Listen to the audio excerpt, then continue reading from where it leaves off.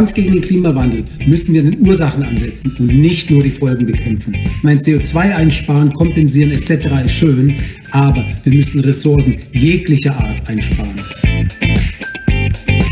Mit Footmore kaufen wir gemeinsam der klimaschädlichen europäischen Industrie die Emissionsrechte weg und zwingen sie, klimafreundlicher zu produzieren.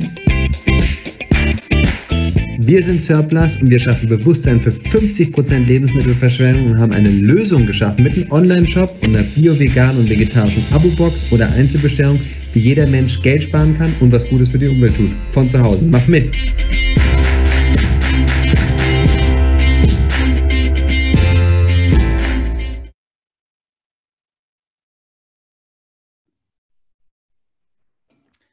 Ja, herzlich willkommen zum heutigen Wegebereiten Politik Talk. Ich bin Markus Sauerhammer, Vorstand vom Social Entrepreneurship Netzwerk Deutschland und äh, darf ein bisschen durch den Nachmittag führen.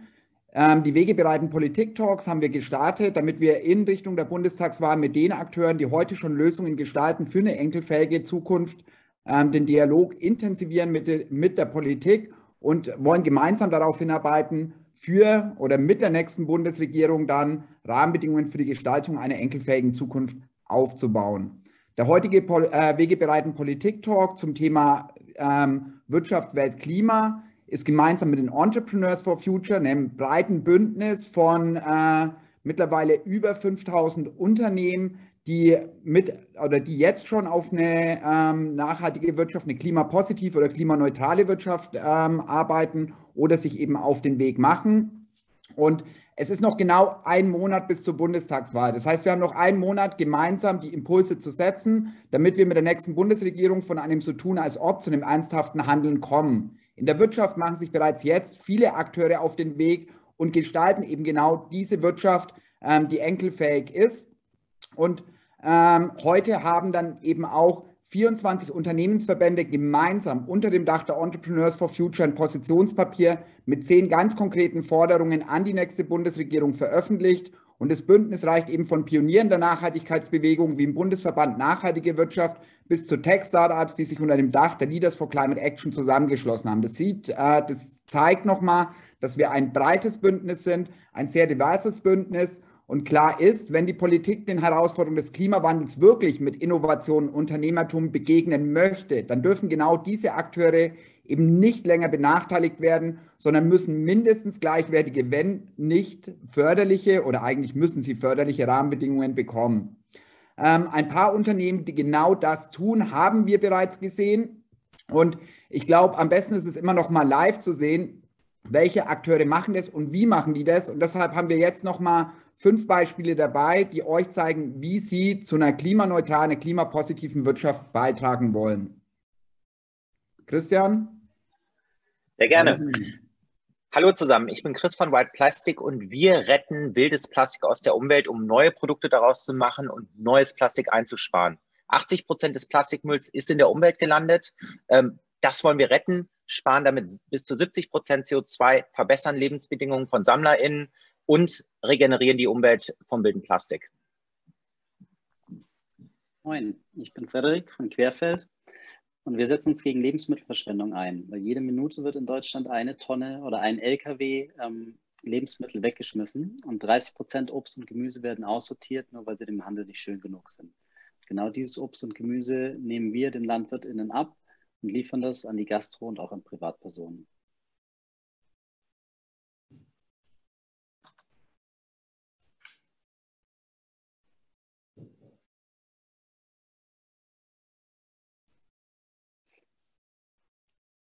Ich mache vielleicht weiter. Ich dachte eigentlich Alma wäre. Juliane Kronen von der gemeinnützigen Innatura in Köln. Wir zielen gleichermaßen auf sozialen und ökologischen Nutzen ab, indem wir fabrikneue Konsumgüter, die aus den unterschiedlichsten Gründen ansonsten entsorgt werden, weil sie nicht mehr für den Markt bestimmt sind, bedarfsgerecht an über 2200 gemeinnützige Organisationen in Deutschland verteilen. Wir haben in den acht Jahren, in denen wir operativ sind, so über 300.000 Tonnen Abfall vermieden und im sozialen Sektor über 20 Millionen Euro eingespart. Michael von Tomorrow, wir bieten nachhaltiges Banking an. Das heißt, wir bieten eine nachhaltige Visakarte, die das Klima schützt, äh, sowie ein ähm, nachhaltiges Girokonto an. Das bedeutet, wir ähm, äh, sorgen dafür, dass die äh, Gelder, die Kundeneinlagen nicht in Waffe und Kohle fließen, wie das bei den klassischen Banken der Fall ist, sondern eben in erneuerbare Energien, nachhaltige Landwirtschaft und andere nachhaltige Industrien fließt und ähm, äh, haben aktuell äh, Stand heute schon knapp 90.000 Kundinnen, äh, die äh, mit ihrem Geld bei uns einen positiven Impact erzeugen. Hallo, ich bin Alma Schubille von Retail und wir bieten klimaneutralen bzw. aktuell sogar klimapositiven Mobilfunk an, indem wir so ermöglichen, Kundinnen durch eine ganz einfache Konsumentinnenentscheidung, die man einmal treffen muss, was Positives zum Klima beizutragen und nicht zur Klimakatastrophe beizutragen. Und das machen wir, weil es in der Branche Mobilfunk bisher leider gar keine Vorreiterrollen gab, die sich ernsthaft dafür eingesetzt haben, dass sich was ändert. Deshalb machen wir was und hoffen damit, die Branche in Bewegung bringen zu können.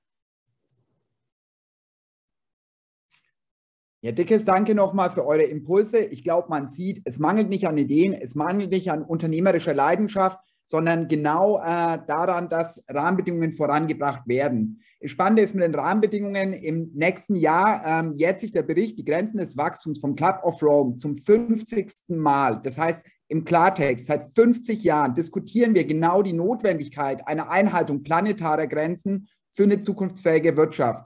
Seitdem hat sich die Lage nicht wirklich verbessert und äh, spätestens der neue IPCC-Bericht äh, des Weltklimarats sollte der und dem letzten die Augen geöffnet haben, dass wir endlich von einem darüber, darüber reden, zu einem entschlossenen Handeln übergehen sollen. Und umso mehr freue ich mich riesig über unseren heutigen Keynote-Redner, äh, Professor Dr. Christian Berg. In seinem beruflichen Werdegang verbindet er die Kombination von Wirtschaft und Wissenschaft, Fakten, ähm, auf eindrückliche Art und Weise. Er hat die Bundesregierung bereits vor über zehn Jahren, korrigieren Sie mich, wenn äh, ich da falsch liege, zu Klima- und Nachhaltigkeitsthemen beraten, ist Vizepräsident der Deutschen Gesellschaft des Club, Club of Rome, Mitglied im Internationalen Club of Rome und er hat die Gründung des Think Tank 30, einen Wegbereiter für das Empowerment der nächsten Generation, ähm, gegründet, angeschoben. Und jetzt bin ich gespannt auf seine äh, Keynote und seine Worte einleiten zum heutigen wegebereiten Politik-Talk. Professor Berg, Ihre Bühne. Lieber Herr Sauerhammer, meine Damen und Herren, ganz herzlichen Dank für die netten, charmanten Worte. Ähm, es ist mir eine große Freude und eine Ehre, auch hier äh, zu Ihnen zu sprechen. Und die Beispiele, die wir eben gehört haben, haben, haben wirklich Lust auf mehr gemacht. Ganz toll. Vielen Dank dafür. Ja, Sie haben es gesagt, 50 Jahre diskutieren wir über Grenzen des Wachstums. Seit 30 Jahren haben wir die Klimarahmenkonvention, seit sechs Jahren das Pariser Klimaabkommen. Und doch ist es so, wenn man sich in die Welt um uns rum, äh, in der Welt um uns rum umguckt, dann hat man das Gefühl, die halbe Welt brennt, leidet unter extremen Dürren oder wird überschwemmt und fast jährlich erleben wir Jahrhundertextreme. Gleichzeitig gibt es in der Politik bei den einen immer noch die dumm dreiste Leugnung des Problems, wie diese Woche wieder von einer Bundestagsabgeordneten, äh, die das ganze Problem eigentlich gar nicht erkennen will. Äh, bei anderen ein viel zu lasches Agieren, um es ja allen recht zu machen. Warum ist Klimaschutz, warum ist Nachhaltigkeit so schwierig? Und warum passiert so wenig? Ich glaube, es hat damit zu tun, dass wir die Komplexität der Herausforderung lange Zeit unterschätzt haben. Wir haben viel zu lange die Klimakrise als ja, Frage für Klimaforschende betrachtet. Wir haben gedacht, das ist eine naturwissenschaftliche Fragestellung und wir haben geglaubt, dass aus Einsicht auch Veränderung folgt. Dabei wissen wir doch alle, dass das im täglichen Leben meistens nicht so ist. Langsam beginnen wir zu verstehen, welche gesellschaftlichen Folgen die Klimakrise haben wird aber wir stehen noch ganz am Anfang bei der Frage, welche gesellschaftlichen Bedingungen wir brauchen, um die Klimakrise zu bewältigen. Und das ist natürlich die entscheidende Frage. Wir haben es mit einem super komplexen System zu tun. Und komplexe Systeme, ich meine nicht nur das Klimasystem, sondern natürlich den Gesamtzusammenhang äh, der Gesellschaft in Verbindung mit den Ökosystemen. Und komplexe Systeme lassen sich eben leider nicht einfach steuern. Oft genug ist es so, wenn man nach links lenkt, dann geht das System nach rechts oder umgekehrt. Das heißt, man erzielt manchmal das Gegenteil von dem, was man möchte. Und es ist deswegen extrem wichtig, dass wir nicht monokausal auf die Klimakrise schauen, sondern sehr umfassend die Barrieren der Nachhaltigkeit, wie ich sie nenne, in den Blick nehmen. Es gibt unglaublich viele dieser Barrieren und ich habe vor einiger Zeit mal mir die Mühe gemacht, die zusammenzutragen und zu systematisieren. Ich kann davon nur ein paar wenige jetzt erwähnen. Das fängt mit kognitiven Barrieren an. Keiner von uns ähm, ist von Natur aus in der Lage, exponentielles Wachstum zu verstehen. Wie problematisch das ist, haben wir während, des ersten, während der ersten Corona-Welle gesehen weil man mit dem Blick auf die vermeintlich noch vielen freien Betten in den Kliniken, manche Leute meinten, man bräuchte die Ma Maßnahmen doch gar nicht, ohne zu sehen, dass eben bei exponentiellem Wachstum rechtzeitiges Handeln extrem wichtig ist. Wir haben keinen Umgang äh, gelernt mit komplexen Systemen. Wie eben schon gesagt, komplexe Systeme reagieren oft total gegenintuitiv. Wir haben daneben auch moralische Barrieren natürlich. Wir haben den inneren Schweinehund. Wir haben Egoismus und Gier. Wie viele gute Projekte sind nicht realisiert worden oder wie viele Initiativen scheitern, weil ein oder mehrere Beteiligten ein riesengroßes Ego haben, das ihnen im Weg steht und das alles einreißt, was vorher mühsam aufgebaut wurde. Wir haben natürlich auch soziale Barrieren. Die Ungleichheit in der Gesellschaft nimmt zu. Und es gibt Untersuchungen, die zeigen, dass der Grad an Problemen einer Gesellschaft mit der Ungleichheit wächst. Probleme zum Beispiel definiert als äh, Zahl der Tötungsdelikte, Inhaftierungsraten, Mangel an Vertrauen ähm, und andere unerwünschte Entwicklungen.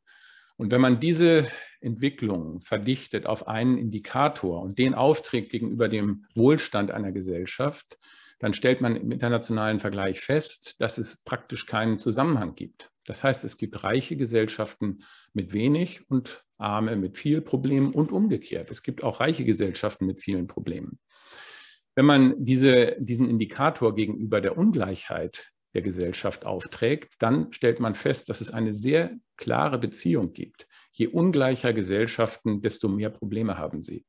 Und mit dem Blick in die USA kann man sich sehr gut vorstellen, dass das so ist. Es gibt noch viele weitere Barrieren im sozialen Bereich, zum Beispiel Populismus und Fundamentalismus. Es ist erschütternd zu sehen, was man im Moment in Kabul und in Afghanistan erleben muss.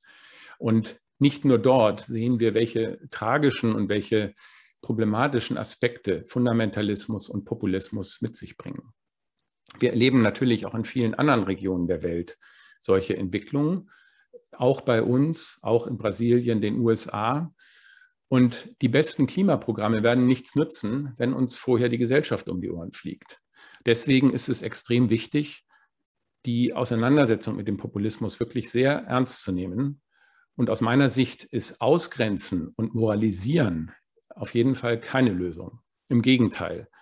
Und das muss meines Erachtens auch ähm, in Richtung äh, mancher politischer Parteien gesagt werden, dass es hier nicht darum gehen kann, einfach nur zu moralisieren, denn das macht das Problem vielleicht noch viel schlimmer.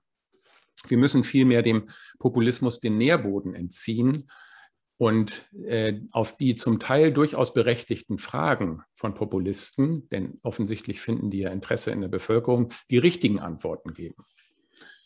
Es gibt daneben noch institutionelle Barrieren und dazu gibt es auch sehr viel zu sagen. Ich kann hier nur kurz erwähnen, dass weder der Markt noch die Politik noch das Recht wirklich darauf eingestellt sind, die Herausforderungen der Nachhaltigkeit ernst zu nehmen. Die Preise lügen, sie sagen nicht die ökologische, soziale Wahrheit. Und ein angemessener CO2-Preis ist natürlich wichtig, aber kann nur ein allererster Schritt auf einem langen Weg sein.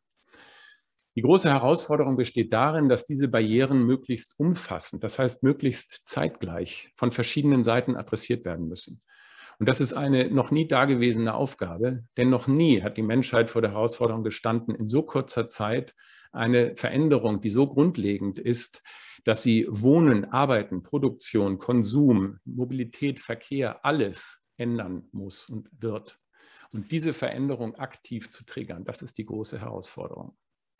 Und jetzt kommen Sie ins Spiel. Sie als Unternehmerinnen und Unternehmer, egal welcher Couleur. Denn für diese Transformation braucht es Innovationen. Es braucht in allen Bereichen unserer Gesellschaft Innovationen. Und wie entsteht Innovation? Sicher nicht durch staatliches Handeln. Auch fällt sie nicht vom Himmel. Es braucht viel mehr Unternehmen. Es braucht kreative Köpfe. Die einen gesellschaftlichen Bedarf erkannt haben, und wir haben eben schon eine tolle, tolle Reihe von Beispielen dazu gehört, und die mit klugen Ideen und attraktiven Produkten und Dienstleistungen an den Markt gehen und diese anbieten. Der Staat und die Politik sind nicht Akteure der Innovation, aber natürlich extrem wichtig, um die richtigen Rahmenbedingungen dafür zu setzen, dass Unternehmen so agieren können. Es braucht verlässliche Rahmenbedingungen, langfristige Rahmenbedingungen, damit man auch weiß, dass sich Investitionen auch lohnen, auch in zehn Jahren noch dasselbe gilt, was man heute verspricht. Es braucht Förderprogramme für Forschung und Entwicklung, schlanke Genehmigungsverfahren, schlanke Administration und natürlich auch passende Anreizstrukturen und eine letztlich auch innovations- und fehlerfreundliche Kultur, in der Scheitern kein Makel ist, in der wir Dinge ausprobieren können. Und wir müssen aufpassen, dass wir nicht dieselben Fehler machen wie gestern. So wie die Klimakrise nicht einfach nur eine naturwissenschaftliche Krise ist und aus Einsicht schon Veränderung folgt, so wenig dürfen wir meinen, dass wir nur technische oder technologische Lösungen brauchen. Selbstverständlich brauchen wir technische Lösungen, technologische Lösungen, aber wir brauchen daneben natürlich auch soziale Innovationen. Die Technik ist ein Teil der Antwort, aber sicher nicht die einzige. Wir brauchen soziale Innovationen, die Lust auf Veränderung machen, die für alle Betroffenen einen Mehrwert erzeugen und niemanden übervorteilen, die einem ein gutes Gefühl geben und zeigen, dass man auf der richtigen Seite steht. Deswegen ist Sozialunternehmertum eine, nicht einfach nur eine weltfremde Weltverbesserung, sondern ein zentraler Bestandteil der dringend nötigen Transformation. Die Rolle von Unternehmen hat sich gewaltig geändert in den letzten Jahrzehnten. Unternehmen müssen heute viel mehr als nur die Stakeholder-Interessen bedienen oder Arbeitsplätze schaffen. Sie müssen einen Wertbeitrag zur Gesellschaft leisten. Das ist die Erwartung. Und diese Entwicklung wird von vielen Seiten unterstützt. Die Gemeinwohlökonomie ist hier zu nennen oder auch die äh, Regulierung, Stichwort CSR-Berichtspflicht, Bemühungen um integrierte Berichterstattung oder eben auch um Sozialunternehmertum. Stets geht es darum, die Leistung von Unternehmen anhand eines breiteren Spektrums zu bewerten, natürlich mit den entsprechenden Schattierungen. Purpose ist das Zauberwort, das viele im Moment umtreibt. Denn die jungen äh, Young Professionals, die wollen wissen, ob ihr Unternehmen Teil der Lösung oder Teil des Problems ist. Man glaubt nicht, wie atemberaubend schnell Veränderungen geschehen kann, wenn die Rahmen richtig gesetzt sind. Und jede und jeder, der oder die mal in einem äh, dynamischen Unternehmen gearbeitet hat, wird das bestätigen. Ich komme zum Schluss. Wer einen Konflikt zwischen Unternehmen und Klimaschutz konstruieren will, der zeigt eigentlich nur, in welchen überholten Kategorien er noch denkt. Meistens sind es Männer. Das ist ungefähr so, als wollte man sagen, gut, ein gutes Dinner könne man nicht mit Messer und Gabel essen. Wir brauchen die richtigen Instrumente, um unsere Ziele zu erreichen. Wenn man sie richtig einsetzt und die Rahmenbedingungen stimmen, dann können Messer und Gabel ein gesittetes Essen gerade zuerst ermöglichen. Aber es kommt natürlich darauf an, dass man sie auch zu benutzen weiß. Und da sind wir wieder bei den Rahmenbedingungen. Dasselbe gilt ganz entsprechend für Unternehmen und den Klimaschutz. In diesem Sinne bin ich sehr gespannt zu hören, was unsere heutigen Gäste aus der Politik zu diesen Rahmenbedingungen zu sagen haben. Vielen Dank.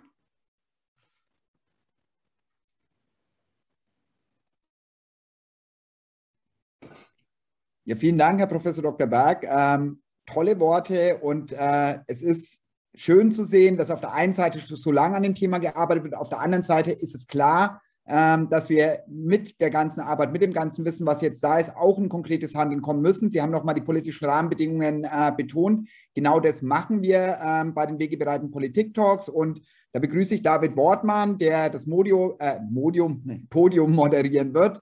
David, schön, dass du dabei bist. Ähm, du stellst dann nochmal die Panelistinnen vor und von dem her, die Bühne gehört dir und dem Panel.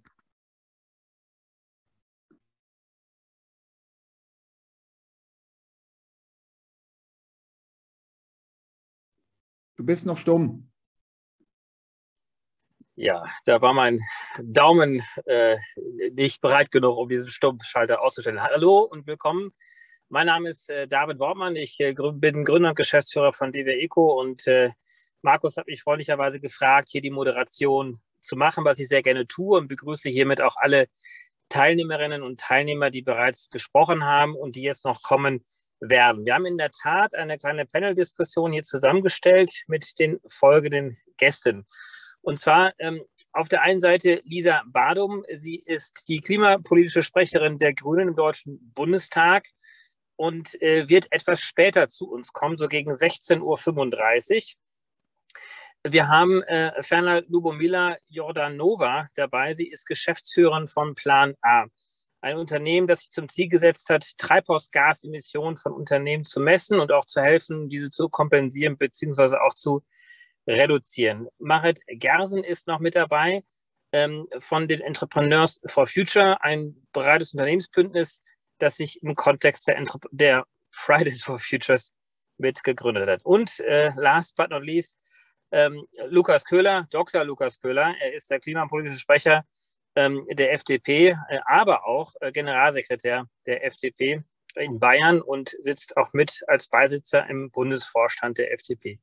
Ich heiße euch alle herzlich willkommen. Hallo.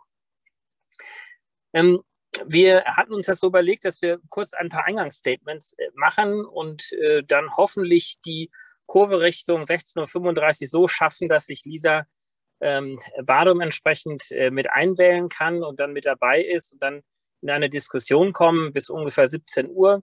Und äh, dann würden wir auch sehr gerne dann auch eure, die, die online mit dazugeschaltet sind, eure Fragen noch mit dazu nehmen. Ich hoffe, ich kann sie irgendwie technisch hier mitbekommen. Ansonsten bin ich mir sicher, dass die Regie irgendeinen Weg findet, mir diese Fragen hier noch mit reinzuspielen.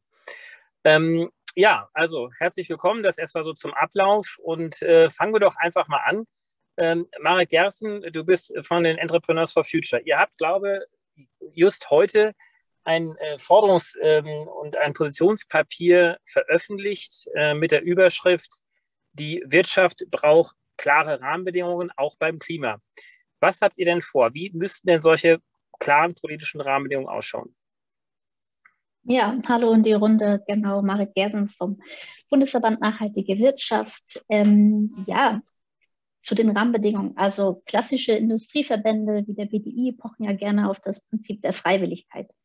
Aber damit die Wirtschaft insgesamt auch umsteuern kann, sind natürlich Rahmenbedingungen notwendig, die zum einen verbindlich und für alle gelten. Diese Verbindlichkeit hat ja auch das Bundesverfassungsgericht ähm, eingefordert. Die hat die letzten 16 Jahre gefehlt. Und zum politischen Rahmen. Aktuell gibt es schlicht keine fairen Märkte für Klimaschutz. Und ganz genau wie du sagst, natürlich weisen die erstmalig gemeinsam und heute präsentierten zehn Punkte des Forderungskatalogs von den mehr als 20 äh, zukunftsorientierten Wirtschaftsverbänden genau den Weg auf, wie der politische Rahmen aussehen muss, damit wir eben diese fairen Märkte ähm, für Klimaschutz erhalten. Und ja, bei den zehn Punkten, also ich werde jetzt nicht alle durchgehen, das Forderungspapier wurde hier auch ähm, gerade schon im Chat äh, gepostet und ist auch auf der Webseite Entrepreneurs for Future zu finden. Aber hervorzuheben ist vielleicht zum einen äh, die CO2-Bepreisung. Also es braucht eine lenkungswirksame CO2-Bepreisung aus Sicht der Zukunftswirtschaftsverbände. Äh, die muss für alle emittierenden Sektoren gleich oder verteilungsgerecht eingeführt werden. Außerdem bedarf es der Abschaffung der klimaschädlichen Subventionen, damit die klimaneutralen Technologien halt wettbewerbsfähig überhaupt erst sein können. Ähm, gefordert wird ein schnellerer Kohleausstieg und zwar bis 2030 und ebenso auch ein Energiewendebooster, also ein viel ambitionierterer Ausbau der Erneuerbaren. Das heißt, äh, eine deutliche Anhebung der Ausbauziele und ebenso soll es einen Klimacheck für alle Gesetzgebungs- und Investitionsvorhaben geben.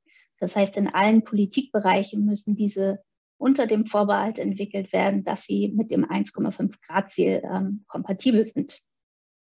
Und äh, ja, dafür stehen wir auch mit den Entrepreneurs for Future, die diesen Forderungskatalog ebenfalls unterstützen und wie Markus, glaube ich, vorhin schon sagte, mit mehr als 5000 Unternehmen täglich zeigen, Wirtschaft und Klimaschutz, das geht zusammen.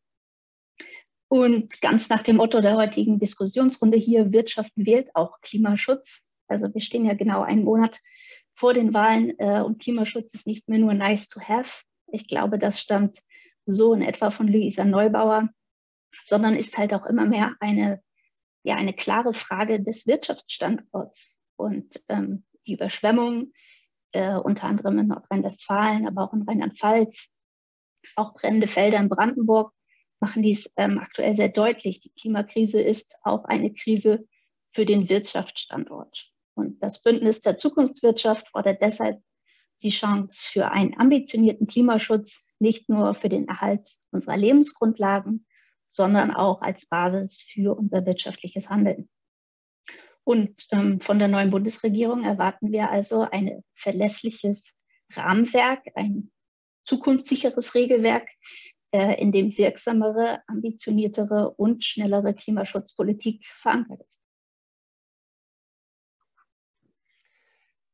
Danke, Marit. Ähm, Lubomila, machen wir doch mit dir ähm, weiter. Du bist äh, Gründerin von Plan A und äh, als Unternehmerin habt ihr ein, ähm, äh, ein, ein Geschäftszweig äh, eröffnet, der im Prinzip eigentlich gar nicht so sehr, aber da kannst du es gerne bitte aufklären, gar nicht so sehr auf die Politik setzt, sondern sagt, nein, wir gehen jetzt äh, sozusagen in die Wirtschaft, äh, wir brauchen gar nicht diese politischen Rahmenbedingungen, wir machen das schon irgendwie freiwillig. Brauchen wir überhaupt noch strenge Rahmenbedingungen fürs Klima? Ja, wir glauben so. Äh, in Planer fokussieren wir uns auf Wirtschaft und Technologie und das für uns sind die Lösungen genau für die Klimawandelsituation, das wir heute haben. Vielleicht, wenn ich alles, was ich über das Thema oder einige, einige Ideen, die wir in Planer und auch Green Tech Alliance über das Thema haben, zusammenfassen kann.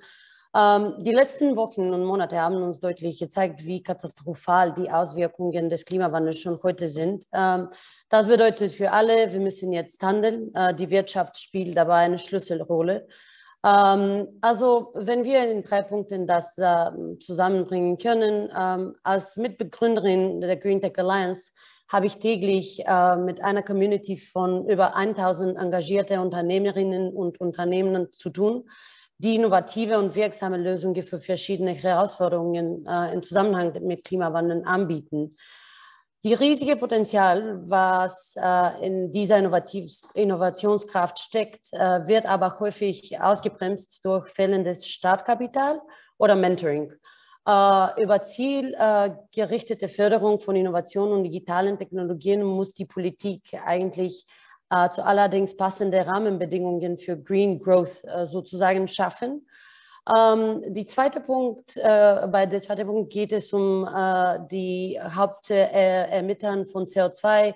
Da sind die Unternehmen. Ähm, über einen effizienten Ausbau des europäischen Emissionshandels müssen wir die Emissionen in allen Sektoren so schnell wie möglich senken, äh, damit europäische Unternehmen trotzdem äh, wettbewerbsfähig bleiben äh, und es ein globaler Kampf bleibt brauchen wir eine schnelle und wirksame Umsetzung des Carbon Border Adjustment Mechanism.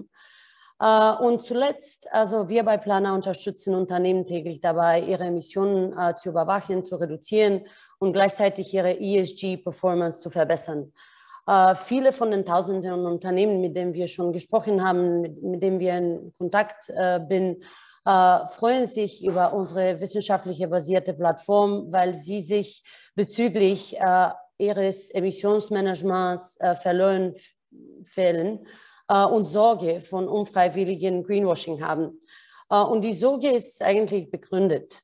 In den letzten Jahren sind auf dem Markt immer mehr uh, nichtstaatliche freiwillige Labels aufgetaucht, mit denen sich Unternehmen als grün oder nachhaltig verkaufen können ähm, Intransparenz und enorme Qualitätsunterschiede der Labels äh, erschwert es Kunden und Investoren zwischen Unternehmen zu unterschieden und die wirksamen Maßnahmen zum Reduzierung und Vermeidung von CO2-Emissionen ergreifen ähm, und solchen, die nur vorgeben, nachhaltig zu handeln. Ähm, wir glauben, dass es die Aufgabe der Politik äh, hier erheitliche, verbindliche Transparenzstandards für die Bilanzierung von Emissionen von Unternehmen einzuführen um die Ergebnisse so ausgekräftigt wie möglich äh, zu gestalten, äh, muss auch die einheitliche und vollständige Auskunft von Scope-3-Emissionen Bestandteil der gesetzlichen Verpflichtung sein. Und nur ein Satz über die Position Papier von Entrepreneur for Future. Wir glauben, es gibt, es gibt eigentlich viele spannende Impulse dort, mit denen wir eine nachhaltige Wirtschaft mit Hilfe politischer Rahmenbedingungen schaffen können. Und äh, ich freue mich auf die Diskussion. Dankeschön, Lubomila. Ähm, äh, Lukas Köhler, wir hatten ja schon das Vergnügen gehabt, zu Beginn dieser Woche miteinander ein längeres Gespräch zu führen und äh, haben uns viel über äh, Marktbedingungen unterhalten. Wie viel äh, können Unternehmen, was kann die Politik? Ähm, jetzt hast du ja ähm, vier Jahre lang ähm, auf der Oppositionsbank gesessen und hast das Treiben dieser Regierung zugeschaut. Was meinst du denn? Was meint die FDP? Muss denn sich denn jetzt an den politischen Rahmenbedingungen ändern, äh, damit wir tatsächlich diese Transformation Richtung einer nachhaltigen Wirtschaft gewährleisten können? Ich glaube, die, die Analyse ist ähm, ja schon sehr, sehr klar und sehr deutlich. Wir haben ja in den unterschiedlichen IPCC-Berichten, in dem Bericht jetzt, der zu den Klimafolgeschäden kam, das Ganze nochmal erneuert hat, ähm, aber auch im Sonderbericht 1,5 Grad sehr deutlich gesehen, dass wir einen, ähm, einen, einen, einen dringenden Handlungsbedarf haben, und zwar einen sehr, sehr großen. Ähm, und ich fand auch das Eingangsstatement äh, sehr, sehr gut, weil es nochmal herausgestellt hat, äh, dass Klimapolitik ja immer zum Ziel hat, eine Gesamtveränderung darzustellen. Und ich glaube, hm, die Frage der Komplexität äh, und die Frage der Komplexität im Rahmen der wirtschaftlichen Veränderung ist in einem Ausmaß vorhanden, das sich nicht in der aktuellen Diskussion weder in Regierungshandeln noch in der Diskussion ähm, innerhalb der politischen Landschaft widerspiegelt. Und das, das ist ein Problem, weil, ähm, oder wie komme ich zu dieser Aussage? Der, der Punkt dahinter ist, dass wir ja nicht darüber reden, einzelne Teile unseres Wirtschaften oder Lebens zu verändern, sondern es geht ja im Kern darum, jeden einzelnen Bereich, im Moment sind eigentlich alle Bereiche in irgendeiner Form abhängig von ähm, CO2-intensiver Energie, ähm, und jeder einzelne dieser Bereiche wird sich verändern. Und das hat natürlich nicht nur Auswirkungen auf Industrie, auf äh, Start-ups, auf Wirtschaften, sondern natürlich auch massive auf, äh, Auswirkungen auf unsere soziale und gesellschaftliche Struktur. Und ähm, dem müssen wir gerecht werden. Und aus unserer Sicht, aus Sicht der Freien Demokraten, bedeutet das, wir brauchen A, ähm, ein, ein, eine klare äh, Zielvorgabe, die eindeutig die Möglichkeit schafft, CO2 so zu reduzieren, dass wir 1,5 Grad kompatibel Politik gestalten. Das geht aus unserer Sicht hauptsächlich dadurch, dass wir ähm, quasi alle Klimapolitik, die wir machen, ähm, aufeinander abstimmen. Wir schlagen vor, ein CO2-Limit einzuführen. Das sinkt ab jährlich, also es wird immer weniger quasi äh, bis netto null. Und dieses CO2-Limit äh, hat einen für die FDP vielleicht recht untypischen ähm, äh, Ansatzpunkt, nämlich ein Verbot, den Verbot des Ausstoßes von CO2 überhalb dieses Limits. Das ist eine sehr, sehr klare staatliche Vorgabe. Denn ich glaube, dass der Markt, dass Wirtschaft, dass Wettbewerb, dass Innovation extrem viel lösen kann, aber eben nur dann, wenn Regeln und Regulatorik innerhalb eines Marktes vorhanden sind. Damit schaffen wir eine Knappheit mit diesem CO2-Limit. Die Verteilung des CO2-Limits, des einheitlichen, die würden wir allerdings dann tatsächlich dem möglichst effizienten Instrument überlassen, das es gibt. Das ist der Markt. Ähm, deswegen schlagen wir vor, den Emissionshandel so auszuweiten, dass er alle Sektoren und äh, alle Treibhausgase umfasst ähm, und dann entsprechend mit diesem CO2-Limit versehen, die Wirkung, die er jetzt im Industrie- und Energiebereich schon erfüllt, ähm, auch daran übertragen wird. Das ist aber nur der erste Schritt. Ein CO2-Preis ist keine Silver Bullet. Ja, das ist sicherlich nur ähm, quasi die, die, die, die Fokussierungsgröße, an dem wir den Rest ausrichten. Es geht dann natürlich um die Frage, wie investieren wir. Ähm, wir müssen als Staat investieren, wir müssen in Infrastruktur investieren, egal ob in Ladeinfrastruktur, Netzausbau, erneuerbare Energien, ähm, aber auch in, in ähm, Entwicklung von, von Förderung von äh, neuen und innovativen Ideen. Da gibt es natürlich eine Menge anderer Dinge außerhalb des Klimabereichs. Da reden wir wahrscheinlich heute Abend nicht drüber oder heute Nachmittag nicht drüber. Aber natürlich müssen wir auch über Fragen, wie wir Finanzierung, wie wir Venture Capital in Deutschland organisieren und so ansprechen. Ähm, einen Bereich aus der Finanzindustrie vielleicht noch als äh, Hinweis. Ich glaube, nicht nur die ESG-Ratings, die ja schon angesprochen worden sind, relevant, sondern auch die Taxonomie. Also die Art und Weise, wie auf europäisch, das war jetzt kein, das kein Vorwurf gewesen, sondern das war eben ähm, glaube ich, die, ist ja die Weiterentwicklung der ESGs. Und zu der Taxonomie nur eine Idee, um zu verdeutlichen, wie wir als Freie Demokraten vorgehen wollen, würden und hoffentlich auch werden. Ähm, es geht in der Taxonomie ja darum zu definieren, was ist eigentlich nachhaltiges Investieren.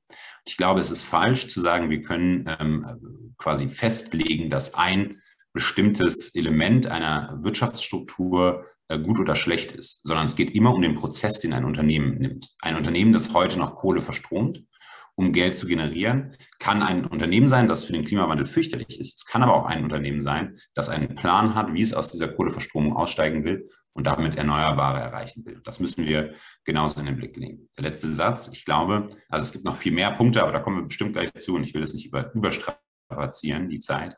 Ähm, ein letzter Satz noch. Ich glaube, dass wir keine Klimapolitik machen können, die nicht auf Akzeptanz und sozialen Ausgleich setzt. Denn Klimapolitik inhärent ist sozial ungerecht. Sie kann gar nicht sozial gerecht sein, denn sie verändert ja jeden, wie gerade angesprochen, Lebensprozess. Sie macht alles teurer, egal ob ich einen CO2-Preis wähle oder ein, ein staatliches Instrument wie ein Verbrennerverbot. Beides hat Kosten. Die einen sind transparent, die anderen sind intransparent, aber beides hat Kosten. Und deswegen müssen wir Sozialpolitik machen, um Klimapolitik auszugleichen. Wir brauchen eine Klimadividende, wir müssen den Bürgerinnen und Bürgern direkt Geld zurückzahlen.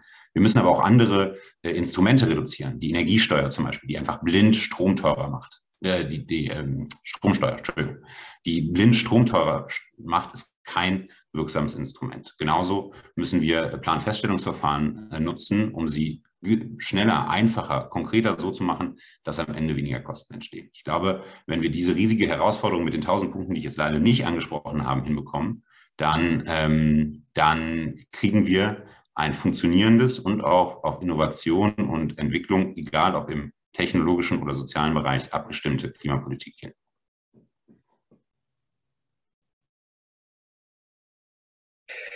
Besten Dank dir, Lukas. Ähm, jetzt habe ich mal geschaut, ob die Lisa schon mit dabei ist. Ähm, aber wenn ich das richtig sehe, ist sie noch nicht mit dazu gestoßen.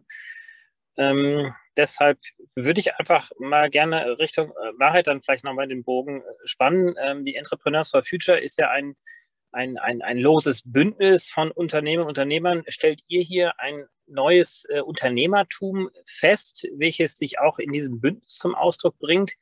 Welches möglicherweise auch andere KPIs und äh, andere Ziele hat als äh, klassischerweise äh, Wachstum, äh, Gewinnoptimierung ähm, und so weiter und so fort.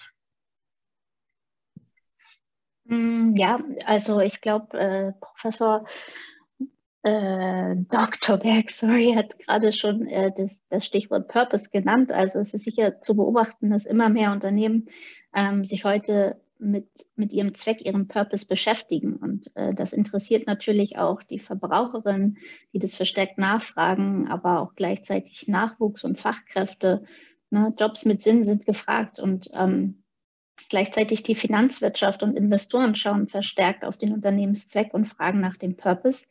Ähm, da wird Nachhaltigkeit quasi ganz automatisch zum zentralen Thema, auch für Wirtschaftsunternehmen. Ähm, zudem rechnet es sich ja auch. Und ähm, ja, an dieser Stelle passt vielleicht auch zu auch ganz schön die Überschrift, mit der ähm, gerade eine Reportage über uns betitelt wurde, ähm, Profit, aber Öko. Also ökologisches Wirtschaften und damit profitabel sein. Und äh, zum Beispiel ist Werner Merz mit seinen Froschprodukten ja Marktführer bei allgemeinen Reinigungsmitteln. Ähm, der Markt für Bio-Lebensmittel hat 2020 einen Umsatzplus von 22 Prozent verbucht beläuft sich jetzt so auf 15 äh, Milliarden Euro etwa. Und auch Firmen wie Jobrad boomen seit Jahren, weil sich Mobilität auch verändert. Das heißt also, Nachhaltigkeit ist in jedem Fall Megatrend und das liegt sicherlich auch an dem gesellschaftlichen Wandel, der durch die For Future Bewegung mit einem starken Umweltbewusstsein, aber auch gestiegenem Gesundheitsbewusstsein und aber auch der Bereitschaft, persönlich Verantwortung zu übernehmen, ins Rollen gebracht wurde. Ähm, Lubomila, vielleicht nochmal die Frage auch an, an dich. Ähm, ihr seid viel mit Unternehmerinnen und Unternehmern unterwegs. Habt ihr den Eindruck, dass hier das Prinzip der Freiwilligkeit reicht, wenn es darum geht, ähm, der eigenen Klimagerechtigkeit äh, gerecht zu werden? Ähm, oder an welchen Stellen ganz konkret äh, würdet ihr euch da noch mehr politische Rahmenbedingungen wünschen, wie um jetzt Herrn Christian, Professor Christian Berg nochmal zu zitieren, damit die Sitten sozusagen am Tisch äh, hier etwas ähm, äh, besser werden? Ja, ähm, also von unserer Erfahrung gibt es eigentlich äh, Vorteile von äh, einige besser definierte Rahmenbedingungen äh, von Aktivitäten von Unternehmen, wenn es um äh, Klimawandel geht.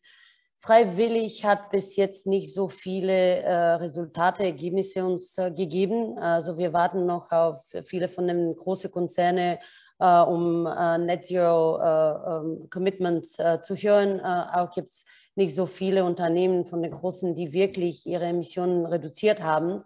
das kann man sehen von alle von die Berichte, die wir von letztes Jahr gesehen haben. Deshalb brauchen wir äh, unserer Meinung nach äh, einige Instrumente, die uns helfen können und äh, wir ähm, als Planer, aber auch viele von den Mitgliedern von den Green Tech Alliance äh, glauben wirklich äh, viel an die äh, viel, verschiedenen Instrumente, die Teil von den EU Green Deal sind. Ähm, ein Beispiel, äh, das ganz äh, interessant ist, ist der Social Climate Fund. Äh, das ist ein gutes Instrument, um Haushalte mit niedrigem Einkommen oder Mikrounternehmen zu unterstützen, die steigenden Preise für Strom und Mobilität zu zahlen.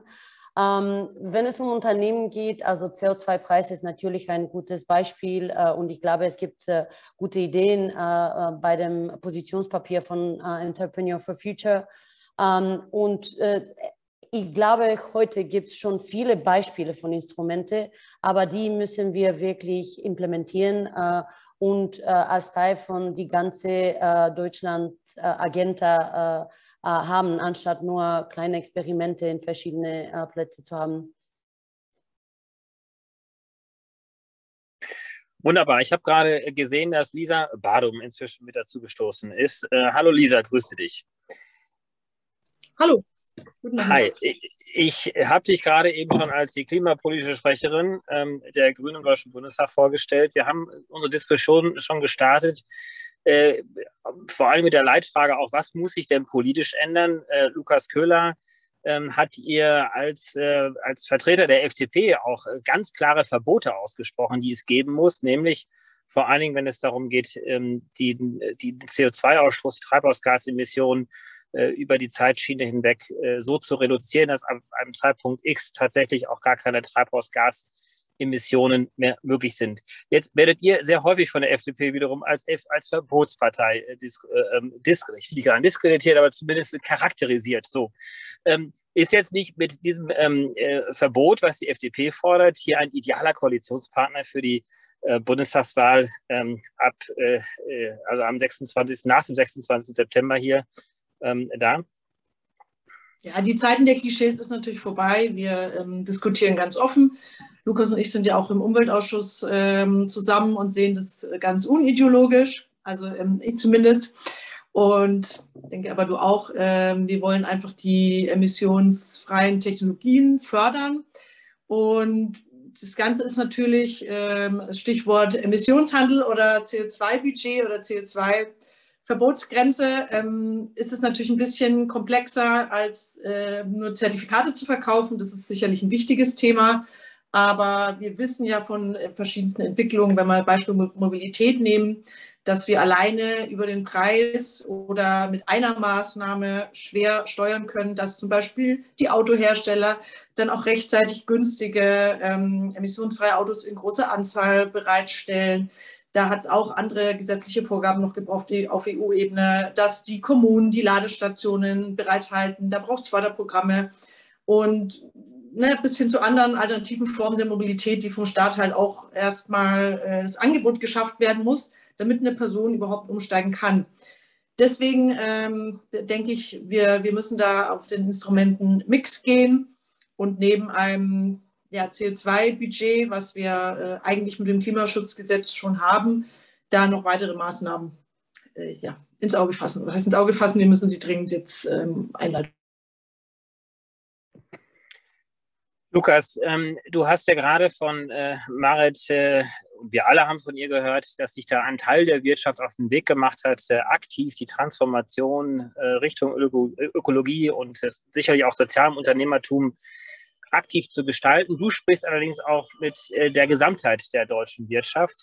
Ähm, wie skeptisch oder optimistisch bist du, dass auch etablierte Player, also nicht nur diejenigen, die jetzt eine neue Geschäftsidee haben, sondern auch gerade etablierte Player, äh, die vielleicht ein Geschäftsmodell, eine Technologie haben, die nicht mehr den Klimakriterien entspricht, äh, wie wir sie heute anlegen, wie einfach wird es denen gelingen, diese Transformation zu gestalten? Und da wiederum natürlich auch wiederum die Frage Richtung politische Rahmenbedingungen, muss man hier dann vielleicht doch ein bisschen differenzierter dann hineingehen, was Lisa gerade auch meinte, dass vielleicht der eine oder andere dann doch ein bisschen mehr incentiviert werden muss, äh, sich äh, schnell zu transformieren. Also ähm, ich, ich glaube, diese ganze alte, äh, noch ein Satz zu dieser Verbotsdiskussion, Verbotsparteidiskussion, ich glaube, das ist so ein bisschen rum, oder? Also diese, diese, ähm, das wird im Wahlkampf immer noch rausgeholt und so, aber äh, normalerweise würde ich sagen, dass dass es andere Unterschiede gibt zwischen den Parteien, die man irgendwie besser herausstellen kann, weil dann die grundsätzliche Zielthematik zu sagen, okay, es gibt einen CO2-Preis und es gibt einen Instrumentenmix und beides führt zu äh, Klimaschutz, da würden, glaube ich, Lisa und ich uns nicht widersprechen. Nur die Frage ist dann, wenn man ins Detail geht, wie, wie, wie detailreich baut man so einen Instrumentenmix auf und äh, was bedeutet das sozusagen für den einzelnen Instrumente? Da wird es dann sozusagen in der Abgrenzung recht klar. Ähm, von, der, von der Diskussion mit der, mit der Gesamtwirtschaft, es gibt Player, ähm, und so ehrlich muss man auch sein, es gibt immer noch Player, äh, die haben den Schuss nicht gehört. Es gibt Leute, die, die wirklich glauben, äh, wir können die alte Welt irgendwie noch aufrechterhalten. Ähm, aber, ähm, und das hat sich in den letzten vier Jahren meiner Meinung nach massiv verändert, das sind immer weniger. Und das sind eigentlich nur noch in Unternehmen Menschen, aber nicht mehr Unternehmen selber. Ähm, egal, ob man mit äh, Stahl, äh, der Stahlindustrie spricht, äh, der Alu-Wirtschaft oder auch der, der Energieindustrie, ähm, alle haben begriffen, dass die Welt der Zukunft nicht mehr die Welt ist, die wir äh, bisher erlebt haben. Und das heißt, viele machen sich auf den Weg. Ähm, viele, es gibt sicherlich noch genügend äh, äh, Spielraum, um, um noch mehr zu erreichen. Ähm, aber selbst eine Shell oder eine, äh, äh auch eine BASF oder so, die haben alle verstanden, okay, wir müssen da jetzt raus.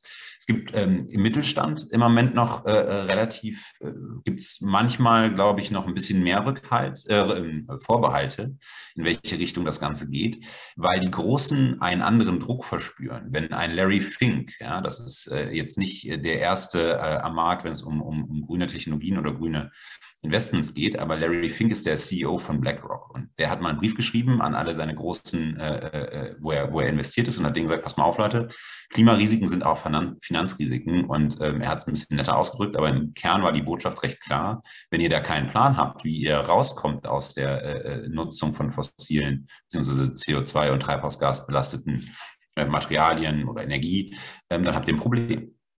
Und da ist es relativ klar geworden. Das heißt aber nicht, dass wir nicht trotzdem staatliche Anreize brauchen. Ich hatte ja eben schon äh, angesprochen, dass wir investieren müssen. Nicht nur in die Infrastruktur, damit äh, überhaupt batterieelektrisches Fahren möglich ist, muss ich natürlich eine gute Ladeinfrastruktur in Deutschland haben. Und hinter der Ladeinfrastruktur hängt natürlich auch das Verteilnetz zum Beispiel. Ja. Ähm, sondern auch äh, äh die, die Frage, wie wir Rahmen und Rahmensetzungen aufgebaut haben. Wir haben ein Energiesystem, das früh, das, das aus den 50er Jahren kommt, in dem man davon ausgegangen ist, man hat irgendwie große Produzenten, Netz und Konsumenten. Die haben wir miteinander verknüpft. Das ist aber nicht mehr das Energiesystem der Zukunft. Wir haben jetzt schon über 50 Prozent Erneuerbare im Netz, beim Strom, nicht bei der Primärenergie, aber beim Strom. Und das heißt, das Energiesystem der Zukunft muss sich darauf einstellen, dass es diese Flexibilitäten viel besser miteinander verknüpfen kann. Das bedeutet aber auch, ein Unternehmen, das äh, CO2-neutral werden will, muss zum Beispiel auf grünen Wasserstoff oder grünen Strom äh, äh zurückgreifen können, ähm, beziehungsweise CO2-neutrale Energie zurückgreifen können. Und die muss so zertifiziert sein, dass das Unternehmen, wenn es sagt, mein Geschäftsmodell baut darauf auf, zum Beispiel CO2-neutral zu sein oder mein Purpose baut darauf auf, Klimaschutz äh, mit zu integrieren, mit in mein unternehmerisches Handeln zu integrieren, dann muss das auch nach, nachweislich möglich sein. Das sind jetzt nur zwei Beispiele. Ich glaube, es gibt ganz, ganz viele mehr Bereiche, in denen man das tun muss und auch tun kann. Aber alleine das zeigt, wie groß auch der politische Veränderungsdruck in den nächsten Jahren ist. Äh, ich glaube, das ist ganz spannend. Darf ich noch einen Aspekt ergänzen, David? Oder? Ja, nee, gerne, gerne, mach ruhig. Okay.